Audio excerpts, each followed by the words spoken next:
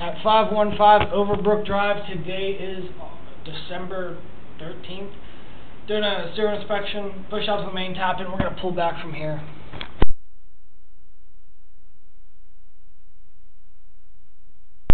Over Hill Drive.